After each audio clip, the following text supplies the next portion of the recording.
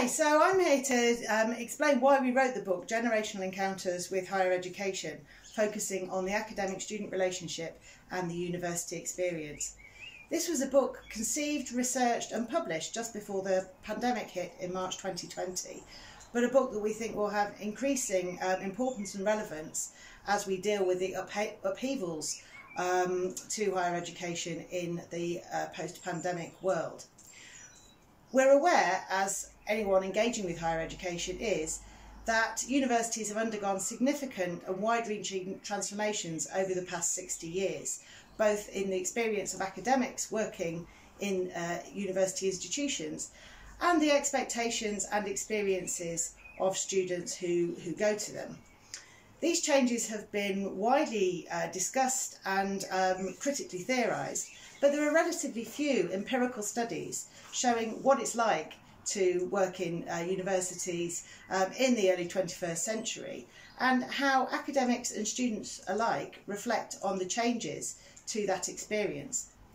So um, to this end we have combined a generational lens uh, looking at the changing experience of academics over time. Um, academics uh, of all ages contributed their interviews to the book and um, also the uh, the experiences of you know, younger students starting now and reflecting on their own kind of expectations and experiences of university, not least those gleaned from family members who have been before and their own kind of interpretation of what might have changed and what they hope to um, gain from the university um, experience. We combine this with a critical realist approach to looking at how policy changes and cultural changes impact on the experience of higher education. To conduct this study, we uh, collected a lot of rich data. Uh, we looked at uh, the major policy documents, uh, we looked at uh, the mass observation directives, uh, we did nine focus groups, and we also conducted 25 semi-structured interviews. Um, we basically looked at the cultural script of the student in the policy documents. For the mass observation accounts, uh, we looked at how the general public frame uh, their experiences of the university, both in policy terms and in terms of their own experiences. Okay, so we're going to draw out just three of the main findings from the book.